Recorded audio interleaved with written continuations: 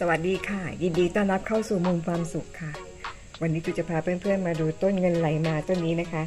เงินไหลมาลายกระหนกค่ะ อันนี้ใบสวย ต้นนี้เอาไว้อยู่หลังบ้านนะคะ ตอนนี้กำลังยาวขึ้นไปแล้วค่ะยาวตามกำแพงขึ้นไปแล้วนะคะ ต้นเขายืดมากเลยค่ะ ต้นนี้ค่ะ เราปลูกไว้ในดินนะคะ ไม่ได้ปลูกไว้ในมะพร้าวสับแต่บางบางบ้านก็จะปลูกในมะพร้าวสับเขาก็อยู่ได้นะคะ ทั้งดินและมะพร้าวสับ นี่เราปลูกไว้ในดิน แต่ขอให้ดินเขาชุ่มนะคะ ถ้าดินเขาชุ่มเขาก็จะอยู่ได้ เพราะเขาเป็นไม้ไม้เถาค่ะ อายุเขาอยู่ได้ทั้งดินทั้งมะพร้าวสับเลยนะคะ หรือไม่ก็ถ้าไม่มีดินมะพร้าวสับเขาเกาะตามต้นไม้เขาก็จะเลื้อยไปเรื่อยได้เลยนะคะ อันนี้เราปลูกในกระถางกระถางนี้อยู่หลังบ้าน